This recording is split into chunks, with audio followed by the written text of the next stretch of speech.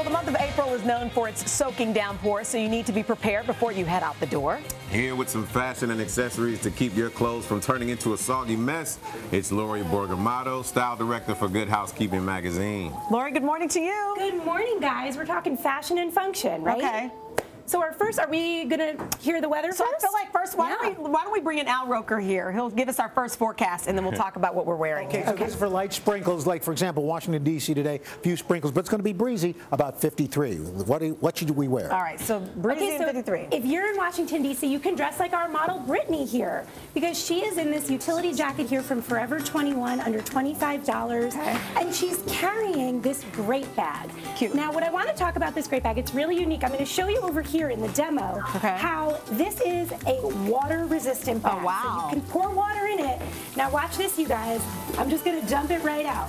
It, it's like a raincoat for your bag. So just don't have your cell phone in there. Yeah, but it really does protect everything. And then also, Brittany has this Davek umbrella. This is $49. It comes with a lifetime guarantee, and it's less than seven inches. Okay. So it's like smaller than And a it fits in your bag. latte. Really quickly, can you talk bag. to me about that umbrella, his umbrella? Yes, I do want to talk about this umbrella. This is the reverse smart umbrella. Sherwin, if you'll open that up for Nice. us. Wow. So the water goes away We'll from walk you if to the you're next one. But I do just want to tell you one other thing. Okay. Look at these Levi's commuter trousers. Nice. The water repels and it even has a reflector if you're commuting by bike. You need some of those. I definitely All right, do. so let's do our next Let's go to the forecast. next Al, really quickly.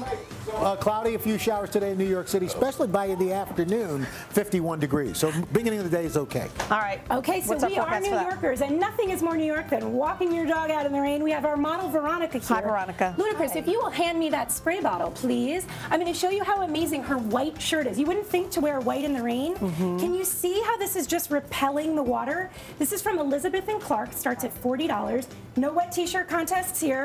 and she's in the modern evolution Let's see. of No, I'm just kidding. I won't do that to you. Hey, too early, too early in the morning for that. a trench coat here from the Gap, and these are rain sneakers, you guys. Cute. These are from Cougar Footwear, and then of course her adorable dog Moxie. So How cute, cute. is Moxie in her dogged trench coat? I love Awesome. it. Thank you so much. Okay, so we have a, a toddler forecast, Yeah.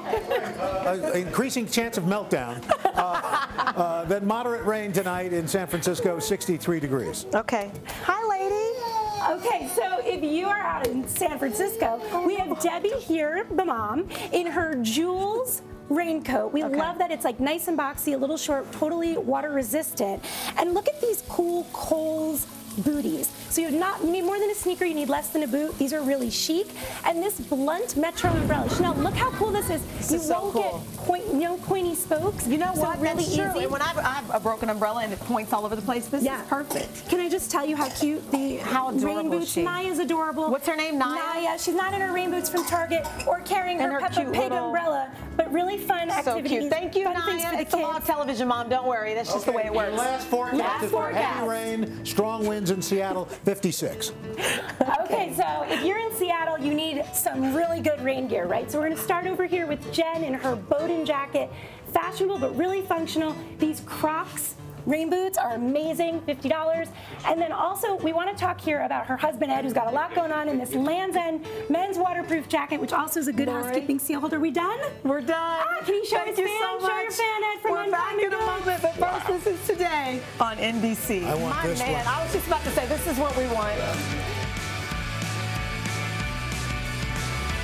Hello, Today fans. Thanks for checking out our YouTube channel. Subscribe by clicking that button down there and click on any of the videos over here to watch the latest interviews, show highlights, and digital exclusives.